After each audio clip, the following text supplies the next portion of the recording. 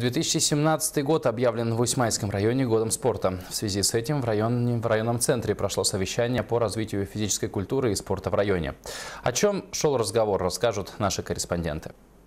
Для участия в совещании были приглашены депутат Государственного собрания Элтумен, директор училища Олимпийского резерва Алексей Филиппов, тренеры школы Гаврил Сивцев, Артур Константинов и Вдалек Попов, тренеры и преподаватели детско-юношеской спортивной школы. Я считаю, что в Учмайском районе очень хорошее будущее в плане вот, э, подготовки спортсменов, вообще системы э, в школах, детских садах, потому что здесь очень э, одаренные дети – к концу года мы планируем провести Дни Министерства спорта. Приедет, значит, большой десант специалистов, э, будут э, все поселения мы будем объезжать, и мы планируем э, совместно вот усилиями построить здесь хороший спортивный комплекс. После совещания были проведены мастер-классы по мини-футболу и вольной борьбе.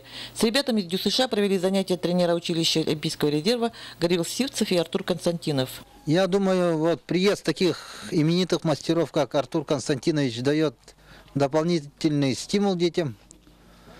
Я бы хотел, чтобы в будущем э, такие вот приезды для обмена опытом, для мастер-классов вот, ну, были еще в будущем.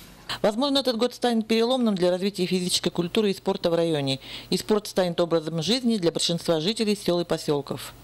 Елена Александрова, Тимур Канаев, Роман Александров. НВК «Саха», Усьмайский район.